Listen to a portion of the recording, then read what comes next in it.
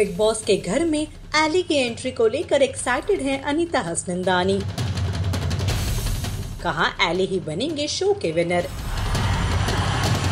क्या अनीता के स्टेटमेंट से इजाज खान को लग सकती है मिर्ची? आज एली ने बिग बॉस 14 के घर में एंट्री मारने वाले हैं। वहीं फैंस के साथ साथ उनके कुछ खास दोस्त भी हैं जो उन्हें बिग बॉस के घर में देखने के लिए सुपर एक्साइटेड हैं। एली गोनी के साथ ये है मोहब्बतें में काम कर चुकी एक्ट्रेस अनीता हसनंदानी तो उन्हें शो में देखने के लिए काफ़ी उत्साहित हैं।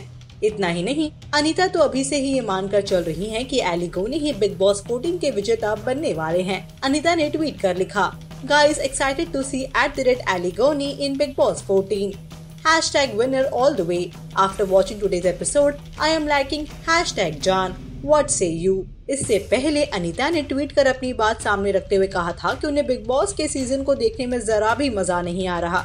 अनीता ने लिखा था, बिग बॉस में वो बात नहीं है। आशा करती हूँ कि आने वाले दिनों में स्थिति सुधरेगी। वहीं आपको बता दें कि शो में अनीता के एक्स इजाज खान भी है।